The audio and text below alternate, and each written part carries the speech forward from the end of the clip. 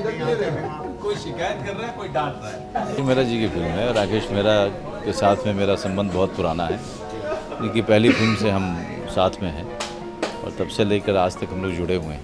एक दोस्त के नाते एक मित्र के नाते। और इनके लिए मैं दुआ करता हूँ कि ये जो भी काम करें वो सब अच्छा ही हो। और आज तक जो भी काम किया इन्होंने बहुत ही अच्छा किया है।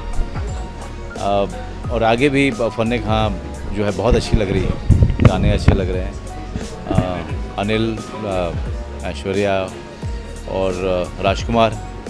मैं उसके लिए बहुत खुश हूँ कि उसको अच्छी अच्छी फ़िल्में मिल रही हैं अच्छी अच्छी प्रोडक्शन हाउसेज मिल रहे हैं।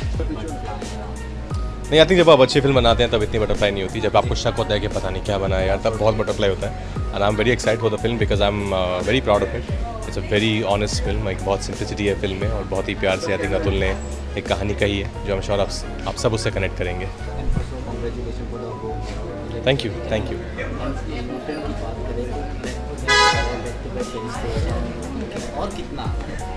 Newton तो आई थिंक यू नो कुछ फ़िल्में होती हैं वो लाइफ टाइम के लिए होती हैं यार। आज हम ही हम गाड़ी में ही बात कर रहे थे। Some film are just for life and Newton I think definitely one of the film जो लाइफ टाइम तक उसके लोग बातें करते रहेंगे उसके बारे में देखते रहेंगे। नहीं नहीं बिल्कुल। जितनी भी अच्छी प्रोडक्ट आप बनाएँ आपको लगता है कि अच्छी है मगर जब लोग देखते हैं उन्हें क्या लगेगा हर फ़िल्म मेकर हर प्रोड्यूसर हमेशा काफ़ी नर्वस रहता है। अम, यार ये फ़िल्म मतलब राकेश ने जो बहुत ही मेरे अज़ीज़ दोस्त हैं बहुत मैंने उनके साथ बहुत एक बढ़िया फ़िल्म पे काम किया है साथ में। तो उनके लिए मैं ऑब्वियसली बहुत शुभकामनाएँ लेके आया हूँ। मैं चाहूँगा कि फ़िल्म अ, सब लोगों को पसंद आए दर्शकों को पसंद आए कामयाब हो।